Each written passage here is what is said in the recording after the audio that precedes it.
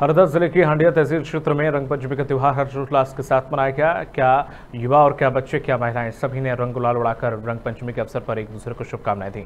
वहीं हांडिया थाना प्रभारी सी एस सरयाम ने बताया कि रंग पंचमी के त्यौहार को लेकर सुबह से ही सुरक्षा के पुख्ता इंतज़ाम किए गए हैं। सभी स्थानों पर पुलिस के जवानों की ड्यूटी लगाई गई है। हर आने जाने वाले पर संदिग्ध होने पर जाँच की जा रही है।